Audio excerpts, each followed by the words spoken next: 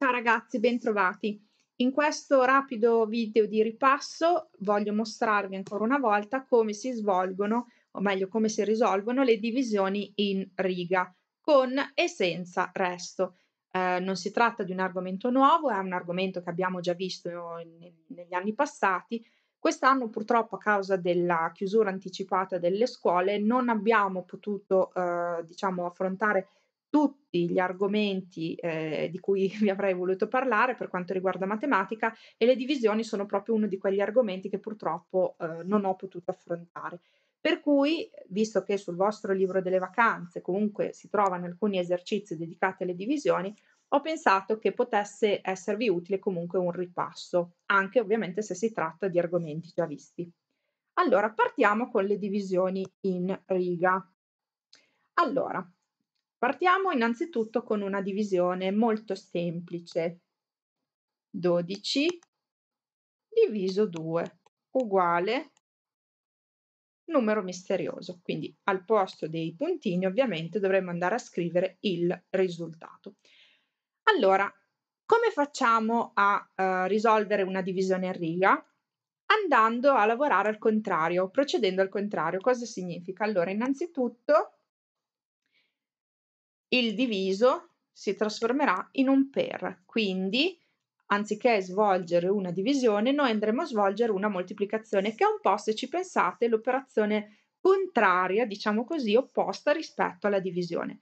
Dal momento che andremo a procedere al contrario, cosa succederà? Succederà che l'ultimo numero, quindi il nostro numero misterioso, che qui indico soltanto con i puntini, diventerà il primo il 2 resterà al suo posto, ma il primo numero, cioè 12, diventerà l'ultimo numero, diventerà il risultato della nostra moltiplicazione.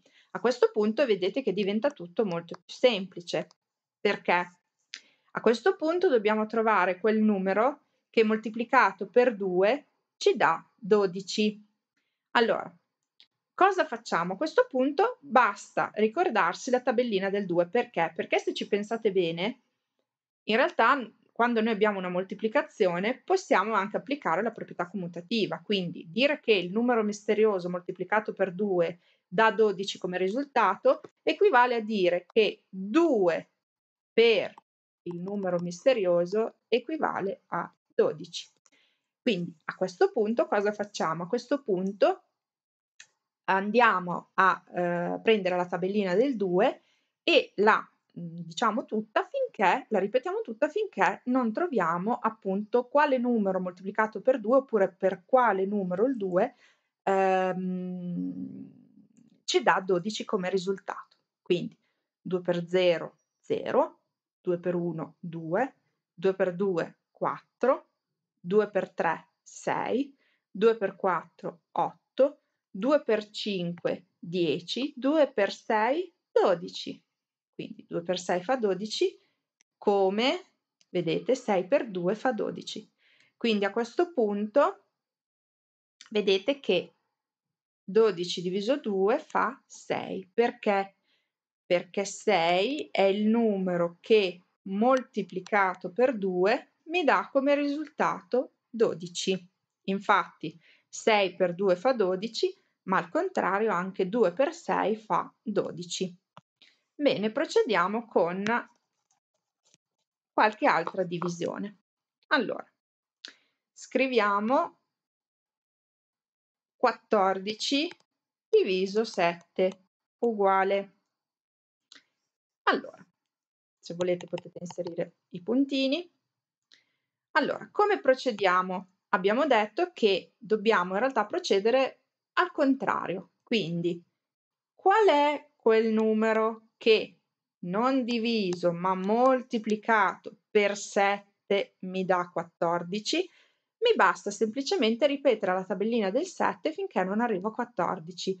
7 per 0 fa 0, 7 per 1 fa 7, 7 per 2 fa 14. Infatti vedete 2 per 7 o 7 per 2 fa 14. Quindi 14 diviso 7 fa 2. Procediamo con un'altra divisione.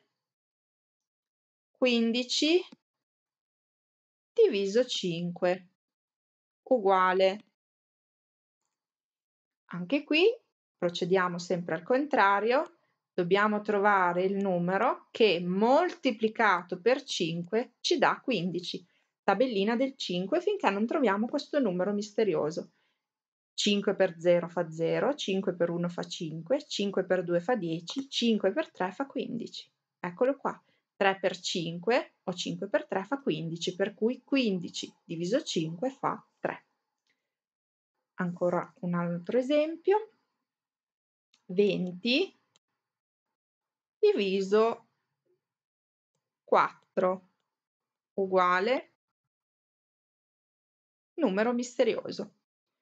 Allora, come al solito procediamo al contrario. L'ultimo numero, il numero misterioso, moltiplicato per 4 ci dà 20 come risultato. Quindi tabellina del 4 finché non troviamo il numero misterioso che appunto moltiplicato per 4 ci dà 20.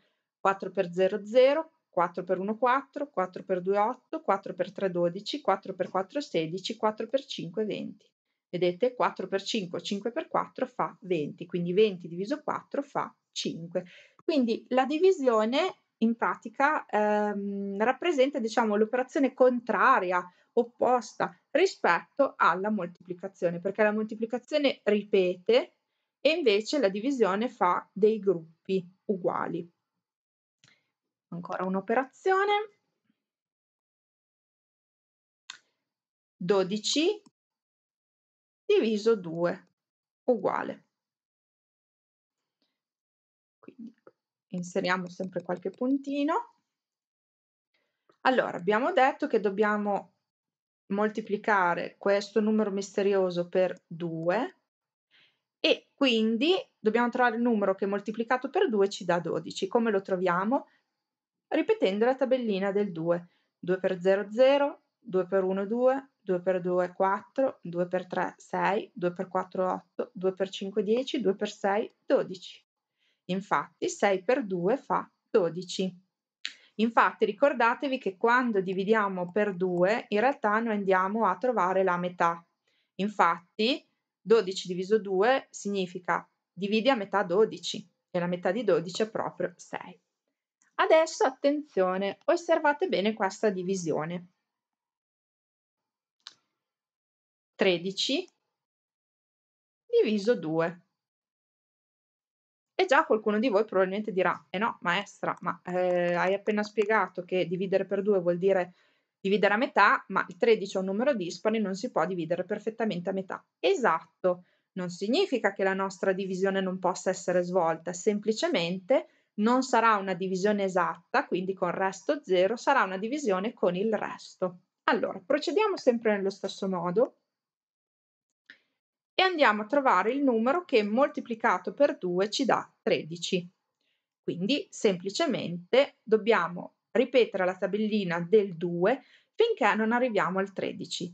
Se per caso il 13 non compare, ci dobbiamo fermare al risultato precedente. Quindi 2 per 0, 0, 2 per 1, 2, 2 per 2, 4, 2 per 3, 6, 2 per 4, 8, 2 per 5, 10, 2 per 6, 12, 2 per 7, 14, ma 14 supera il 13. Allora ci fermiamo a 2 per 6. Controlliamo un po', è vero che 6 per 2 fa 13? No, 6 per 2 fa 12. E da 12 quanto manca per arrivare a 13? Manca 1. Quindi quell'1 che manca è il resto.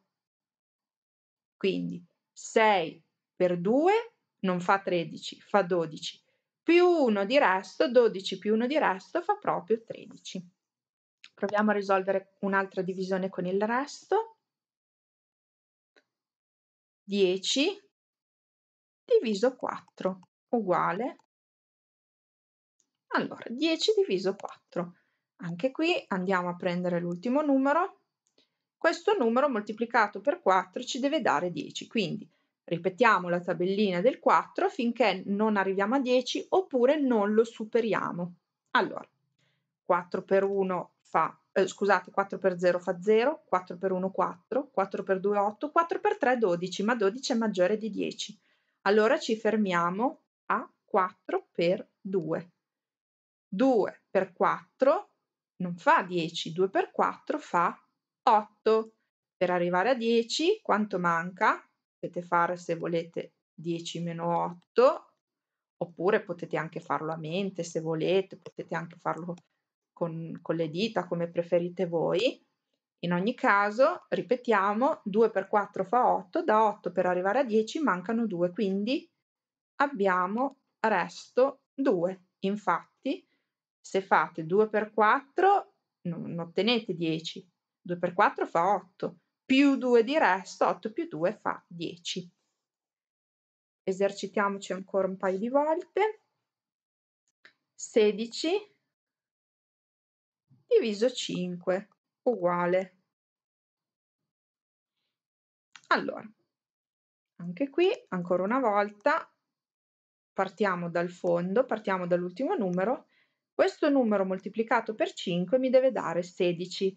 In realtà dovreste già aver capito che 16 non può essere diviso perfettamente per 5 perché tutti i multipli di 5, cioè tutti i numeri che sono divisibili per 5, finiscono sempre con lo 0 o con il 5. Qui invece abbiamo 16 che finisce con il 6. Quindi il 16 non sarà nella tabellina del 5, quindi probabilmente avremo del resto. Allora, qual è quel numero che moltiplicato per 5 dà 16? Ripetiamo la tabellina del 5 finché arriviamo a, a, mm, scusate, finché arriviamo a 16 oppure eh, fermiamoci all'ultimo risultato appunto che non supera 16. 5 per 0 0, 5 per 1 5, 5 per 2 10, 5 per 3 15, 5 per 4 20, 20 supera 16, allora ci fermiamo a 5 per 3. Ma 3 per 5, 5 per 3 fa 15, non 16, quindi 3 per 5, 5 per 3 fa 15, da 15 per arrivare a 16 ne manca 1, quindi abbiamo resto 1. Infatti 3 per 5, 5 per 3 fa 15, più 1 di resto fa 16. E infine, un'ultima divisione, 11 diviso 3, uguale. Anche qui partiamo ovviamente dal, dall'ultimo numero, quindi qual è quel numero che moltiplicato per 3 mi dà 11? Tabellina del 3. 3 per 0 0, 3 per 1 3, 3 per 2 6, 3 per 3 9, 3 per 4 12, ma 12 supera 11. Allora ci fermiamo a 3 per 3. Ma 3 per 3 non fa 11, 3 per 3 fa 9. Da 9 per arrivare a 11 mancano 2, quindi abbiamo resto 2. Infatti 3 per 3 non fa 11, fa 9, ma 9 più 2 di resto fa 11. Bene, nel prossimo video ripasseremo come calcolare le divisioni in colonna con e senza resto con una sola cifra al divisore. Ciao!